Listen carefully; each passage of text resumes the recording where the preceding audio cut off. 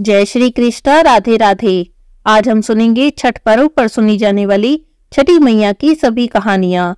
छठी मैया सभी पर अपनी कृपा बनाए रखें, सभी के संतानों की रक्षा करें, सभी पर अपनी कृपा दृष्टि बनाए रखें, किसी के घर में भी कोई भी दुख तकलीफ़ ना हो। छठी मैया सबके कष्टों को दूर करें। इसी शुभ मंगल कामना के साथ आइए सुनते हैं छठी मैया की कहानी। बोलिए, छठी मैया की जय हो।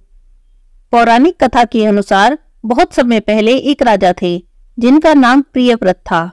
उनकी पत्नी का नाम मालिनी था। राजा और रानी की कोई भी संतान नहीं थी, और इसी कारण राजा प्रियव्रत बहुत चिंतित रहते थे। एक दिन राजा प्रियव्रत कश्यप ऋषि से मिले और संतान प्राप्ति का उपाय पूछा। उन्होंने ऋषि को प्रणाम किया और कहा, हे ऋषिवर, आप मुझे संतान प्राप्ति का कोई उपाय बताइए।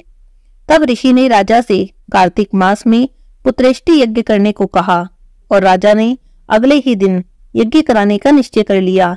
महर्षि कश्यप ने अनेकों महात्माओं और ऋषियों के साथ, राजा और रानी के साथ यज्ञ को संपन्न किया। यज्ञ कराने के कुछ दिन बाद राजा प्रियव्रत की पत्नी मालिनी ने गर्भ धारण किया। नौ महीने बाद उन्होंने एक पुत्र को जन्म दिया, लेकिन यह पुत्र मरा हुआ था। मृत शिशु को अपनी छाती से लगाकर राजा प्रियव्रत और उनकी पत्नी बहुत विलाप करने लगे। तभी एक आश्चर्यजनक घटना घटी। एक ज्योतियुक्त विमान पृथ्वी की ओर आता दिखाई दिया। पास आने पर लोगों ने देखा कि उस विमान में एक दिव्य स्त्री बैठी है। उन देवी ने राजा प्रियव्रत से कहा कि मैं ब्रह्मा की मानस पुत्री हूँ। संतान प्राप्ति की इच्छा रखने वाले को संतान प्राप्ति का वरदान देती हूँ। इसके अलावा जो सच्चे भाव से मेरी पूजा करते हैं, मैं उनके सभी प्रकार के मनोरथ को पूर्ण कर देती हूँ। और जैसे ही उन देवी ने उस मृत शिशु के शव को स्पर्श किया, वह शिशु जीवित हो गया। यह देखकर राजा प्रियव्रत और उनकी पत्नी मालिनी बहुत खुश हुए और अनेकों प्रकार से देवी की स्तुति करने लगे। यह सब देखकर राजा बहुत प्रभावित हुए और षष्ठी देवी, यानी छठ पूजा के प्रचार प्रसार में लग गए। राजा और उनकी पत्नी ने कार्तिक शुक्ल पक्ष की षष्ठी तिथि को षष्ठी देवी का पूरे विधि विधान से पूजन किया। बस तभी से छठी मैया की पूजा करने का यह पर्व शुरू हो गया। बोलिए छठी मैया की जय हो। हे छठी मैया, जैसे आपने राजा और रानी पर कृपा की, जैसे उन्हें संतान सुख दिया, उनकी संतान की रक्षा की, वैसे ही आपकी पूजा करने वाले, व्रत कथा पढ़ने वाले, सुनने वाले, सभी पर अपनी कृपा दृष्टि बनाए रखना। अब सुनते हैं छठी मैया की दूसरी कहानी। बोलिए छठी मैया की जय हो। बहुत समय पहले की बात है। एक बुढ़िया माई थी। बुढ़िया माई के परिवार में उसका बेटा था और बहू थी। बुढ़िया माई छठी माता की परम भक्त थी। हर साल छठ माता का व्रत करती थी। परंतु बुढ़िया माई की बहू पूजा पाठ में विश्वास नहीं रखती थी। नए विचारों वाली थी। वो भगवान को मानती ही नहीं थी। एक बार की बात है, आया छठ पर्व तो बुढ़िया माई छठ माता की पूजा की तैयारी करने लगी। बुढ़िया माई का बेटा भी उनकी मदद करने लगा। बाज़ार से पूजन की सामग्री लाता, आम की लकड़ी लाता, लेकिन बुढ़िया माई की बहू जो थी, वो ना तो काम में मदद कर रही थी, बल्कि खड़ी खड़ी हंस रही थी और ताने मार रही थी। कह रही थी, माँ जी, दुनिया कहाँ से कहाँ पहुँच गई? लोग आसमान छू रहे हैं और आप आज भी इतनी अंधविश्वासी हो। लेकिन अपनी बहू की बातों का बुढ़िया माई पर कोई भी प्रभाव नहीं पड़ रहा था। वो तो पूरे लगन के साथ, पूरे ध्यान के साथ अपनी पूजा की तैयारी कर रही थी। बुढ़िया माता तो पूजा की तैयारी कर रही थी, पर जब बहू ने देखा कि मेरी बातों का कोई भी असर नहीं हो रहा है तो उसे बड़ा गुस्सा आया। वह बोली, कि माँ जी ये सब क्या बेकार का आपने ढोंग रचा रखा है? अपनी उम्र देखी है? इस उम्र में तीन दिन तक भूखी रहोगी तो बीमार पड़ जाओगी। अपनी सेहत बिगाड़ लोगी। खुद तो परेशान रहोगी ही, हमें भी परेशान करोगी। ना जाने क्यों लोग भूखे प्यासे रहकर खुद को कष्ट देते हैं। बहू की बातें सुनकर उसके भोलेपन पर बुढ़िया माई मुस्कुराने लगी और कहने लगी, अरे बहू, ऐसा नहीं कहते। तुम्हें पता है, शादी के बहुत समय बाद तक जब मुझे संतान नहीं हो रही थी, तब मैंने छठी मैया के इस व्रत को किया। तो छठी मैया ने मेरी पुकार सुन ली। तुम्हें पता है, तुम्हारा पति छठी मैया का ही प्रसाद है। यह अंधविश्वास नहीं है बहू।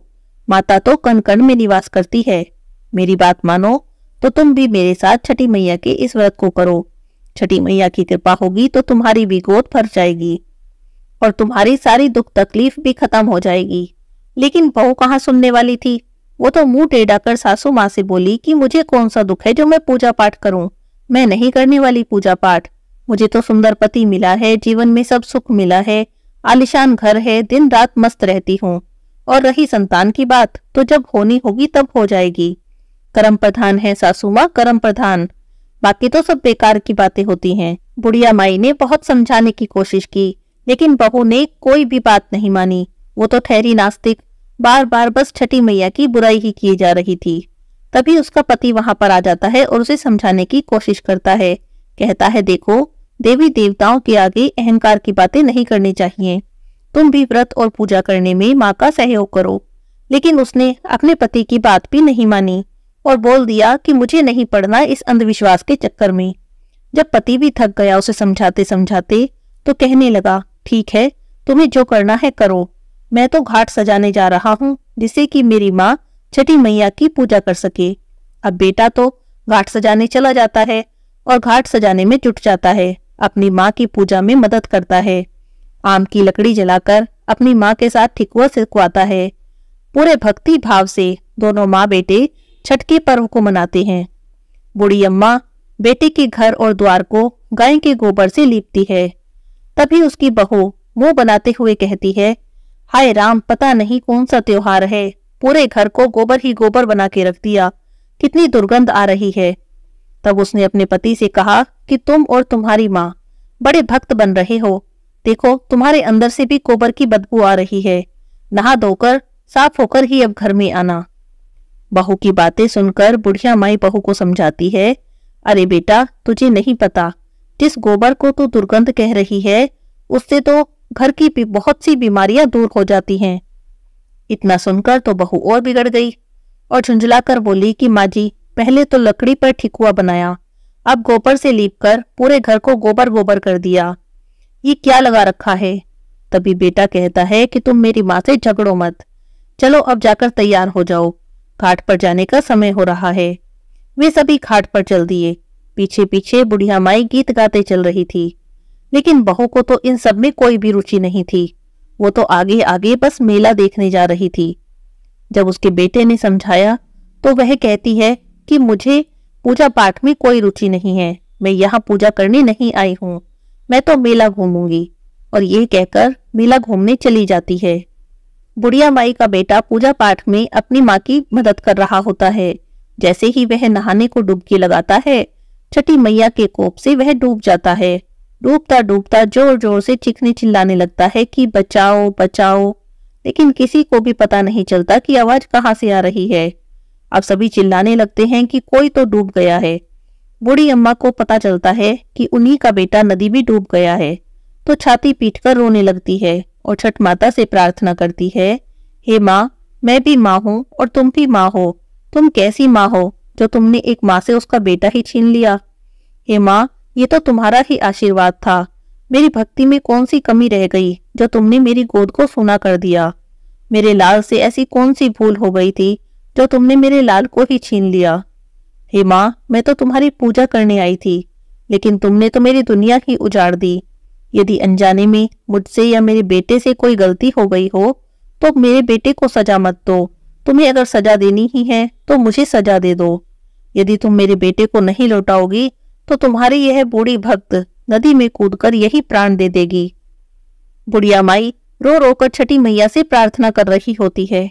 तभी बहू को पता चलता है कि उसका पति नदी में डूब गया है।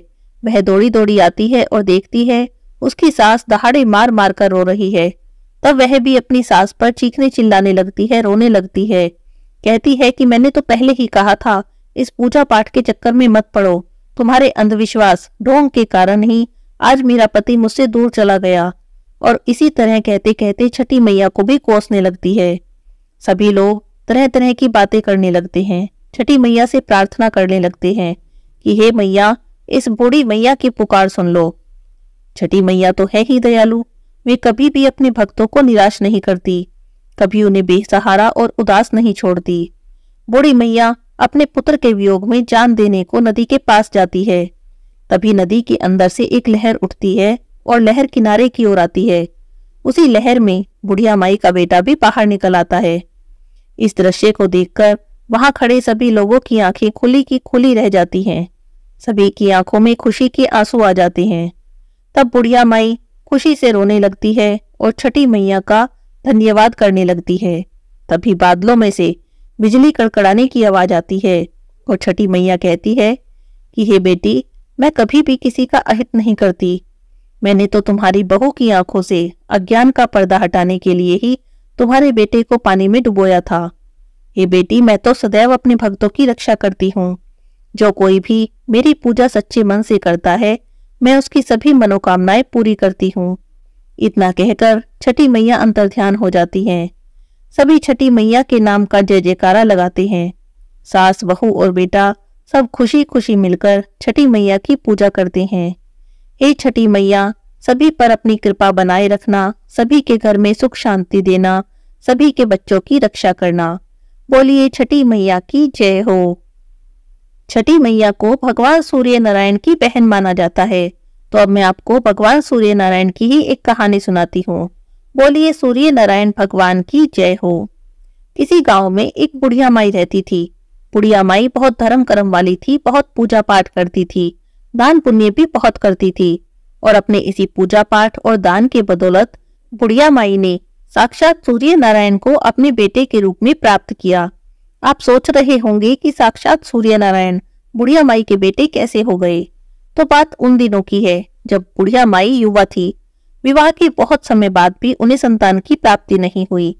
तब उन्होंने सूर्य नारायण भगवान की बहुत पूजा की, बहुत तपस्या की सूर्य नारायण की व्रत किए और इस पर सूर्य नारायण भगवान प्रसन्न हुए और उसके सामने प्रकट हुए। तब उन्होंने पूछा कि आपको क्या वरदान चाहिए? मैं आपकी पूजा और भक्ति से बहुत प्रसन्न हूँ। तब बुढ़िया माई ने सूर्य नारायण जैसे पुत्र की इच्छा की। तब सूर्य नारायण कहने लगे कि माई, मेरे जैसा तो केवल मैं ही हूँ।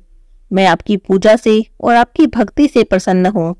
इसीलिए मैं स्वयं आपके पुत्र के रूप में आपके घर में रहूँगा। लेकिन इसके साथ साथ उन्होंने एक शर्त भी रखी। भगवान सूर्य नारायण बोले कि आप तो जानते ही हैं सृष्टि का संतुलन मेरे बिना बिगड़ जाएगा। अगर मैं हर समय आपके घर में रहूँगा तो। इसीलिए मेरे बिना सृष्टि नहीं चल पाएगी। तो जब आपको मेरी आवश्यकता होगी, तब आप मुझे याद कर लेना और मैं आपके सामने उपस्थित हो जाया करूँगा। अन्यथा मैं आपके साथ नहीं रहूँगा। तो उन्होंने तो सूर्यदेव जैसे पुत्र की मांग की थी। इसीलिए उन्होंने सूर्यदेव की शर्त को भी स्वीकार कर लिया। कुछ समय बाद उनके पति का भी देहांत हो गया। अब तो बुढ़िया माई घर में बिल्कुल अकेली रहने लगी। भगवान सूर्य नारायण कभी कभार उनके पास आते और फिर अंतर ध्यान हो जाते। एक दिन उन्होंने भगवान सूर्य नारायण का ध्यान किया। तब सूर्य नारायण उनके बेटे के रूप में उनके पास प्रकट हुए। तब उन्होंने कहा, देखो बेटा, अब मैं घर में बिल्कुल अकेली रहती हूँ। मुझसे अकेले नहीं रहा जाता। मेरी उम्र भी हो गई है। अब तुम्हें विवाह कर लेना चाहिए। तब भगवान सूर्य नारायण ने उनके पुत्र होने का फ़र्ज़ निभाया और विवाह भी कर लिया। घर में बहू आ गई। लेकिन भगवान सूर्य नारायण तो अपनी शर्त के मुताबिक घर में नहीं रुक सकते थे। कभी कभार ही घर में आते। एक दिन बहू पूछने लगी, माँ जी, मेरे पति घर में क्यों नहीं रहते? तब उन्होंने कहा, देखो बेटी, मेरा बेटा बहुत दूर काम करता है, दूसरे शहर में जाता है, इसीलिए घर में नहीं रह सकता। बहू बिचारी मान गई। अब दोनों सास बहू घर में रहने लगी।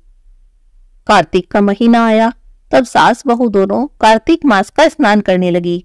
सुबह सवेरे जल्दी उठती, नहा धोकर भगवान विष्णु की पूजा करती, तुलसी सींचने जाती, बड़ पीपल की पूजा करती। जब पूजा करती, तब प्रार्थना करती और हमेशा यही कहती कि मुझे मेरे पति का साथ मिले, मुझे मेरे पति का प्रेम प्राप्त हो।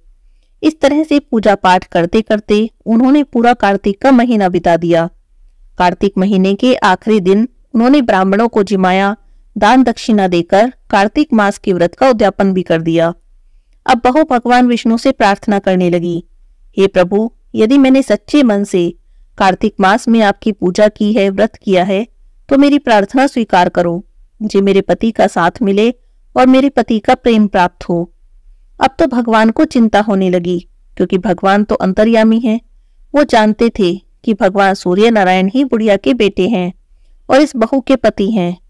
लेकिन भगवान सूर्य नारायण उनके साथ कैसे रह सकते हैं? लेकिन उसने बड़ी श्रद्धा भाव से पूरे कार्तिक के मास का स्नान किया था, इसीलिए भगवान को उसकी मनोकामना पूरी करनी ही थी। जैसे ही भगवान ने तथास्तु कहा, भगवान सूर्य नारायण के विचारों में परिवर्तन हो गया और वह तुरंत ही बुढ़िया माई के घर में प्रकट हुए और कहने लगे माई, मेरा मन कर रहा है कि मैं कुछ समय तक आपके साथ ही रहूँ, कुछ समय आपके साथ व्यतीत करूँ। बुढ़िया माई तो जानती थी कि भगवान सूर्य नारायण अगर मेरे साथ रहेंगे, मेरे घर में रहेंगे तो सृष्टि का संतुलन बिगड़ जाएगा। लेकिन इसके साथ साथ ही वे अपने बेटे के घर आने से बहुत खुश भी थी।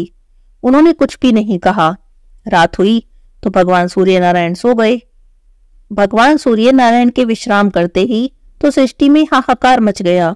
सभी देवता भागे भागे बुढ़िया माई के घर आए और बुढ़िया माई से कहने लगे, हे माई, भगवान सूर्य नारायण को हमारे साथ जाने की अनुमति दो।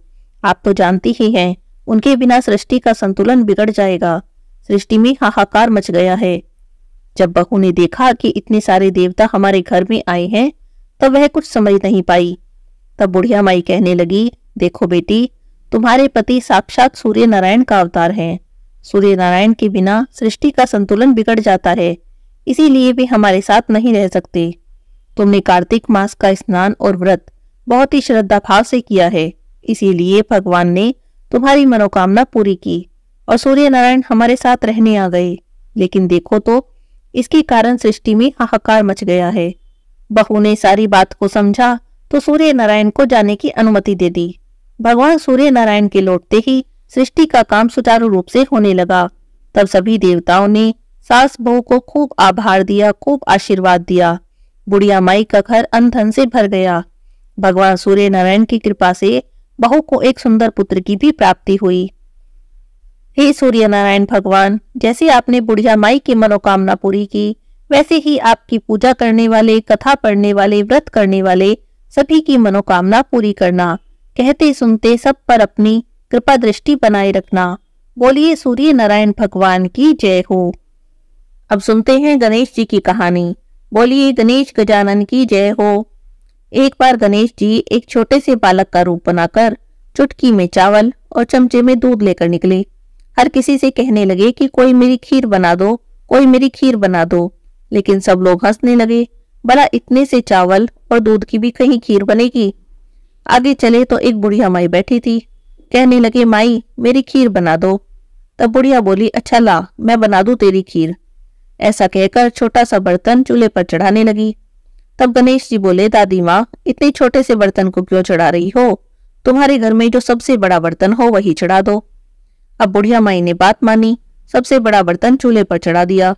उसमें दूध चावल गिरे तो देखती क्या है? जो थोड़े से चावल और दूध बर्तन में डाला था, बर्तन तो पूरा भर गया। तब गणेश जी बोले, दादी जी, मैं नहा कर आता हूँ। थोड़ी देर में खीर बनकर तैयार हो गई तो बुढ़िया माई के पोते पोती खीर खाने के लिए रोने लगे। बुढ़िया माई ने कहा, गणेश जी, तेरे भोग लगे। ऐसा कहकर चूल्हे में थोड़ी सी खीर डाली और कटोरी भर भर के खीर बच्चों को दे दी। बुढ़िया माई की पड़ोसन ऊपर से देख रही थी। बुढ़िया माई ने सोचा, इसे खीर न दी तो चुगली कर देगी। एक कटोरा भर के खीर उसे भी दे दी। बेटे की बहू ने भी चुपके से एक कटोरा खीर खा ली और कटोरा चक्की के नीचे छुपा दिया। गणेश जी अभी भी नहाकर नहीं आए थे। अब तो बुढ़िया माई को भी भूख लगने लगी। उसने भी एक कटोरा खीर ली किवाड़ के पीछे बैठकर कहने लगी, गणेश जी, आपके भोग लगे। ऐसा कहकर खीर खाना शुरू कर दिया। इतने में गणेश जी आ गए। बुढ़िया माई बोली आजा रे गणेश, या खीर खा ले। मैं तो तेरी ही राह देख रही थी। गणेश जी बोले, माई मैंने तो खीर पहले ही खा ली। बुढ़िया माई ने पूछा, कब खाई? गणेश जी बोले, जब तेरे पोते पोती ने खाई, तब खाई। जब तेरी पड़ोसन ने खाई, तब खाई। जब तेरी बहू ने खाई, तब भी खाई। और अब तूने खाई तो मेरा तो पूरा पेट भर गया। बुढ़िया माई बोली, बेटा, सारी बात सच है, पर बहू बेचारी का नाम मत ले। वो तो सुबह से काम में लगी है। भला उसने खीर कब खा ली? तब गणेश जी ने कहा, चक्की के नीचे देख झूठा कटोरा पड़ा है। तूने तो कम से कम मेरे भोग लगाया, वो तो वैसे ही खा गई। बुढ़िया माई बोली, बेटा, घर की बात है, घर में ही रहने दे। अब बता, बची खीर का क्या करूँ? गणेश जी बोले, सारी नगरी जिमा दे। बुढ़िया माई नगरी में न्योता दे आई, सारी नगरी जिमा दी। बर्तन फिर भी खीर से पूरा भरा था। राजा जी को पता लगा, उसने बुढ़िया बुलाई और कहने लगे, क्यों री बुढ़िया, ऐसा बर्तन तेरे घर में अच्छा लगे या हमारे घर में? तब बुढ़िया माई बोली राजा जी आप ले लो। राजा जी ने खीर का बर्तन महल में मंगा लिया। महल में आते ही खीर में तो कीड़े मकोड़े पड़ गए। खीर से दुर्गंध आने लगी। राजा जी ने बुढ़िया बुलाई। कहने लगे, बुढ़िया, इस बर्तन को वापस ले जा। ये बर्तन हम तुझे ही दे देते हैं। बुढ़िया माई बोली राजा जी आप देते तो पहले ही दे देते। ये बर्तन तो मुझे मेरे गणेश जी ने दिया। बुढ़िया माई ने बर्तन वापस मंगा लिया। बुढ़िया माई के घर आते ही वापस खीर सुगंधित हो गई। अब बुढ़िया माई गणेश जी से बोली कि गणेश जी इस बची खीर का क्या करूँ? गणेश जी ने कहा कि झोपड़ी के कोने में इकट्ठा खोद के गाड़ दे। उसी जगह सुबह उठकर खोदेगी तो धन के दो घड़े मिलेंगे। ऐसा कहकर गणेश जी जाने लगे। बुढ़िया माई बोली, इस छोटी सी झोपड़ी में इतने सारे धन का क्या करूँगी? तो गणेश जी ने झोपड़ी की लात मारी। झोपड़ी के जगह पर महल खड़ा हो गया। सुबह उठी तो बुढ़िया माई की बहू फावड़ा लेकर पूरा घर खोदने लगी। कुछ नहीं मिला। तो बहू बोली, सासू जी, थारे गणेश जी तो झूठे हैं। सासू जी बोली, कि बहू मारे गणेश जी झूठे तो नहीं है? ला, मैं देखू जरा। वो सुई लेकर खोजने चली तो टन टन करते दो धन के घड़े मिल गए। तब बहू कहने लगी कि, सासू जी, गणेश जी तो सच्चे ही हैं। तब सास बोली कि हाँ गणेश जी तो सच्चे हैं। गणेश जी तो भावनाओं के भूखे हैं। हे गणेश जी महाराज, जैसे बुढ़िया माई को दिया सबको देना, सबकी मनोकामना पूरी करना। बोलिए, गजानन गणेश की जय हो। एक तपसी था और एक लपसी था। तपसी तो भगवान की तपस्या करता और लपसी रोज सवा शेर की लापसी बनाता, भोग लगाता, घट्टी बजाता और जीम लेता। एक दिन दोनों में झगड़ा हो गया। तपसी बोला कि मैं बड़ा हूँ। लपसी कहने लगा कि नहीं, मैं बड़ा हूँ। तपसी बोला कि मैं रोज भगवान की तपस्या करता हूँ, इसीलिए मैं ही बड़ा हूँ। लपसी बोला कि मैं रोज भगवान को सवा शेर की लापसी का भोग लगाता हूँ, इसीलिए मैं बड़ा हूँ। दोनों आपस में झगड़ रहे थे। नारद जी वहाँ से गुजरे तो दोनों को झगड़ते देखा। पूछने लगे कि क्यों झगड़ रहे हो? तब दोनों ने अपनी अपनी बात कह दी। नारद जी बोले कि तुम लोग आपस में झगड़ा मत करो। तुम में से कौन बड़ा है, इस बात का फैसला मैं कर दूँगा। अगले दिन सुबह सुबह तपसी और लपसी दोनों नहा कर आ रहे थे। नारद जी ने दोनों के रास्ते में सवा सवा करोड़ की अंगूठी रख दी। तपसी ने अंगूठी देखी तो उसने तुरंत उठा ली। इतनी कीमती अंगूठी देखकर उसके मन में लालच आ गया। सोचने लगा कि बड़ी कीमती अंगूठी है। इसे बेचूँगा, बहुत सारे पैसे मिलेंगे। उन पैसों से एक बहुत बड़ा यज्ञ करूँगा और अपने आप को बड़ा साबित कर दूँगा। उधर लपसी ने अंगूठी देखी तो सोचने लगा, अरे, किसी की कीमती अंगूठी गिर गई है, लेकिन उसने अंगूठी को हाथ तक नहीं लगाया। सोचने लगा कि कहीं मैंने उठा ली तो चोर डाकू मेरे पीछे पड़ जाएँगे, कहीं मुझे मार दिया तो। वो तो रोज की तरह सवा शेर की लापसी बनाई, भगवान को भोग लगाया, घंटी बजाई और जीव लिया। थोड़ी देर में नारद जी वहाँ पर आए। दोनों कहने लगे कि, बताओ नारद जी, हम दोनों में से कौन बड़ा है? तो नारद जी बोले कि दोनों खड़े हो जाओ। दोनों खड़े हो गए। जैसे ही दोनों खड़े हुए, तपसी के पैर के नीचे से अंगूठी निकली, जो उसने तपस्या करते टाइम अपने पैर के नीचे छुपा ली थी। तो नारद जी तपसी से बोले कि इतनी तपस्या कर ली तूने, पर तेरे मन का लालच अभी तक नहीं गया। जा, अब तुझे तेरी तपस्या का भी कोई फल नहीं मिलेगा। इतना सुनना था कि तपसी तो ज़ोर ज़ोर से रोने लगा। रोते रोते नारद जी के पैरों में गिर गया। बोला, महाराज, दया करो और बताओ कि मुझे मेरी तपस्या का फल कैसे मिलेगा? तब नारद जी बोले, कि जो अपने घर में गाय कुत्ते की रोटी नहीं बनाएगा तो उसकी तपस्या का फल तुझे मिल जाएगा। दीवा जलाकर हाथ नहीं जोड़ेगा, ब्राह्मण को भोजन कराकर दक्षिणा नहीं देगा, तब उसकी तपस्या का फल तुझे मिल जाएगा। साड़ी देकर भेंट नहीं देगा तो उसकी तपस्या का फल तुझे मिल जाएगा। जो सारी कहानी कहकर तेरी कहानी नहीं कहेगा, तब उसके सारे पुण्य, सारे फल तुझे मिल जाएँगे। बस तभी से सभी कथा कहानी के साथ तपसी लपसी की कहानी ज़रूर सुननी चाहिए, नहीं तो किसी भी कथा कहानी का फल नहीं मिलता। अब आपको सुनाती हूँ आड़ी बाड़ी की छोटी कहानी। सभी कथा कहानी के बाद आड़ी बाड़ी की कहानी सुनते हैं, और अगर आड़ी बाड़ी की कहानी ना सुने तो कभी भी किसी कथा कहानी का फल नहीं मिलता। तो सुनते हैं आड़ी बाड़ी की कहानी। आड़ी बाड़ी सोना की बाड़ी जिमे बैठी कान कुमारी कान कुमारी कई कई मांगे, छत्तीस करोड़ की देवता मांगे। बाड़ी जिमाए कई कई होवे, अन्न होवे, धन होवे, लाज होवे, लक्ष्मी होवे, बिछड़िया ना मेल होवे, निपुति ने पुत्र होवे। सासू को पुरसन, बहू को जिम्मन। उठ भाई तपसी, जीन भाई लपसी। भाई को थान, भाभी को मान। थाने थारी वार्तों को फल और माने मिले मारे बरत को फल। बोलिए आड़ी वाड़ी की जय हो।